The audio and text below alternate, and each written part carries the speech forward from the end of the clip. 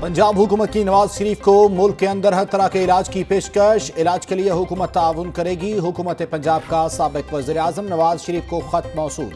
Jail حکام نے خط نواز شریف کو آج جیل میں موصول کرایا۔ نواز شریف نے خط کے جواب کے لیے چند روز کا وقت مانگ لیا۔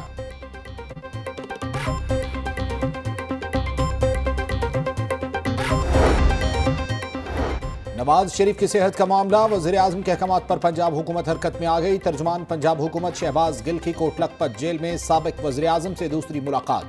پی آئی سی کے ڈاکٹر پروفیسر ندیم ملک اور پروفیسر ثاقب شفی نے سابق وزیر اعظم کا چیک اپ کیا۔ ڈاکٹرز کی ادویات میں تبدیلی کی تجویز، حکومت کا ہیلتھ یونٹ کے بعد جیل میں ایکسرسائز سائیکل فراہم کرنے کا فیصلہ۔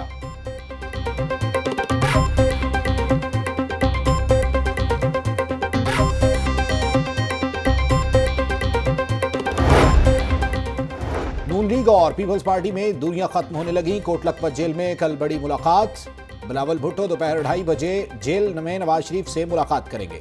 کمر زمان کائرہ مصطفیٰ نواز کھوکھر، حسن مرتضیٰ اور جمیل سمرو بھی ہمراہ جائیں گے۔ آصف زرداری کے بھی لاہور میں ڈیرے۔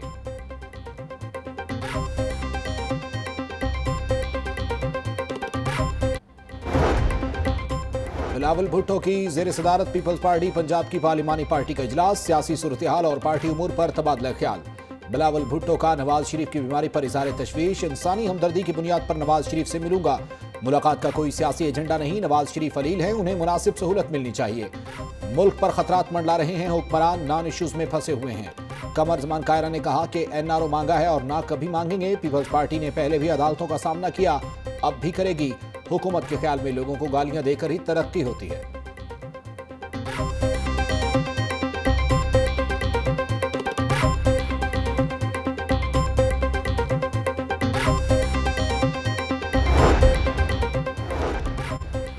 مانگے تانگے سے گھر نہیں چلتا، ملک کیسے چلے گا؟ حکمران سبز باغ نہ دکھائیں، قوم کا دل ٹوٹتا ہے۔ موجودہ حکمرانوں کو بھی حساب دینا پڑے گا۔ حکومت کو کہا کہ معاشی ایجنڈا لائے۔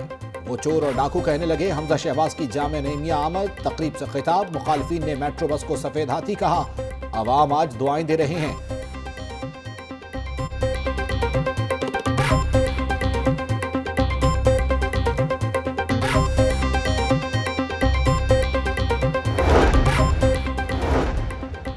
سرکاری ملازمین کے لیے خوشخبری، پنجاب حکومت کا ملازمین کو بھی صحت کارڈ جاری کرنے کا اصولی فیصلہ۔ وزیر صحت ڈاکٹر یاسمین راشد کہتی ہیں، وزیراعظم کے احکامات پر صحت کارڈ کا عمل جلد مکمل کریں گے۔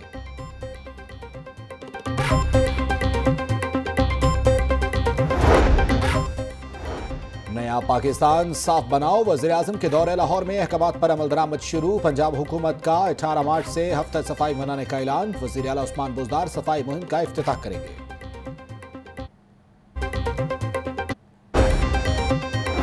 سابق وائس چیئرمین واسا چودھری شہباز بھی نیب کے شکنجے میں، لیگی M P A Chaudhry Shahbaz پر آمدن سے زائد اثاثے بنانے کا الزام۔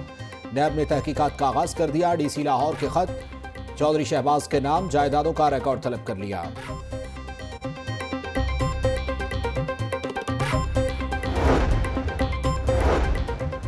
گورنر پنجاب چودھری سرور سے وزیر دفاع پرویز خٹک اور نیم الحق کی ملاقات، حکومتی اور سیاسی امور اور پاک بھارت کشیدگی سے متعلق گفتگو۔ قوم فوج اور حکومت کے ساتھ ہے بھارت کی ہر سازش ناکام بنائیں گے۔ بھارتی مظالم پر عالمی اداروں کی خاموشی پریشان کن ہے۔ گورنر پنجاب کی گفتگو۔ چودھری سرور کی بی بی پاک دامن آمد۔ مزار پر چادر چڑھائی فاتح خانے کی۔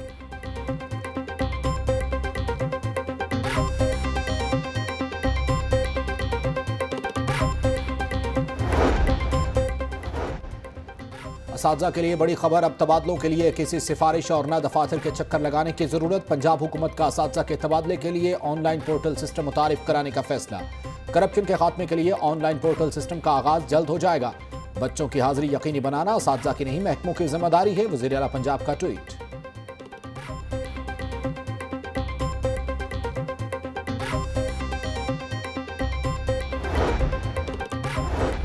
ایسا نظام لائیں گے کہ کوئی بچہ مالی عدم تحفظ کے باعث تعلیم سے محروم نہیں رہے گا۔ مخیر حضرات حکومت پر اعتماد نہ ہونے کے باعث ٹیکس نہیں دیتے۔ وفاقی وزیر تعلیم شفقت محمود کا آواری ہوٹل میں تقریب سے خطاب۔ وزیر اطلاعات نے کہا کہ سیاسی جماعتیں ایک دوسرے کی ٹانگ کھینچنے کے بجائے عوامی خدمت میں مقابلہ کریں۔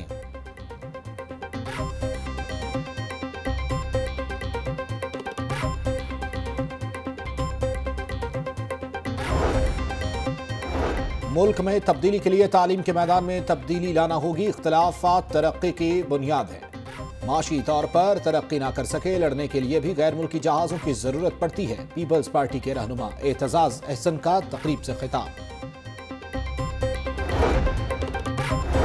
ڈی جی ایکسائز چھٹی کے دن بھی ان ایکشن محکمے کی کارکردگی کا جائزہ لینے کے لیے اجلاس۔ ناقص کارکردگی پر بیس ای ٹی اوز کو شو کاز نوٹس تھما دیے۔ افسران کو کارکردگی بہتر بنانے کے لیے ایک ماہ کی مہلت۔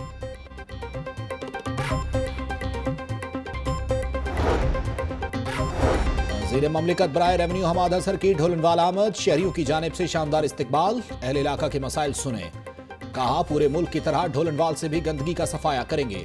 لیسکو چیف کو ہدایت دی ہے کہ بجلی کے مسائل حل کریں۔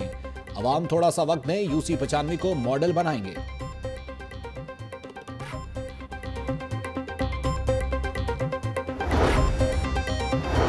بادامی باغ تھانے کی سٹیٹ آف دی آرٹ عمارت کی تعمیر مکمل۔ چار منزلہ نئی عمارت کا افتتاح کل ہوگا۔ چار کنال اراضی پر قائم عمارت پر تین کروڑ روپے لاگت آئی۔ چوبیس کمرے اور دو حوالات ہیں۔ بلڈنگ کا افتتاح شہید ہیڈ کانسٹیبل سعید کا بیٹا کرے گا۔ ہوش ایریا میں بچوں کو قطرے پلانے کا معاملہ۔ ضلع انتظامیہ کا پرائیویٹ کلینکس اور ہسپتالوں میں پولیو ڈیسک بنانے کا فیصلہ۔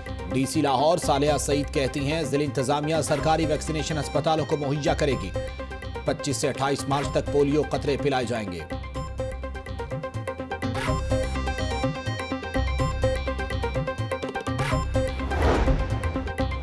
مالک ہی ملازم کا قاتل نکلا۔ جوبلی ٹاؤن میں شہری کے گھر سے لاش ملنے کا معمہ حل پولیس نے ملزم ابرار کو گرفتار کر لیا۔ رائیونڈ کے علاقے میں پندرہ سالہ طالب علم کو قتل کرنے والے ملزم بھی گرفتار۔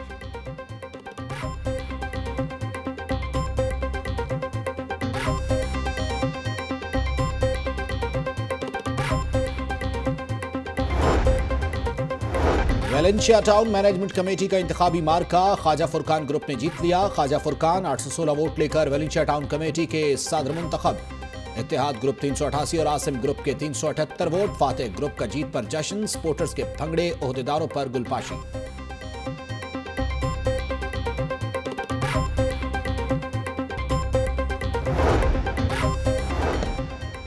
انجمن تاجران لاہور کا کاروباری اور سماجی رہنماؤں کے اعزاز میں زہرانہ لیگی رہنما بلال یاسین، زاہد مقصود بٹ سمیت دیگر کی شرکت۔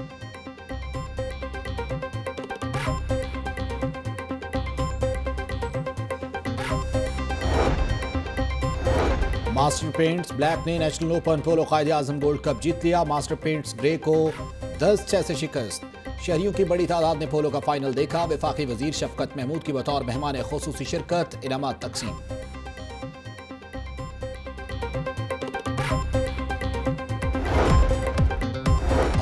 علی انسٹیٹیوٹ میں دلاہور لائسیم سکول کا رنگرنگ سپورٹس گالا، طلبہ کا مختلف کھیلوں کے مقابلوں میں بھرپور کارکردگی کا مظاہرہ۔ چلڈرن لائبریری کمپلیکس میں انٹرنیشنل پری سکول کریکولم کا سالانہ سپورٹس گالا۔ طلبہ کی شاندار پرفارمنس نے تقریب کو چار چاند لگا دیے۔ گلوکار جواد احمد کی شرکت۔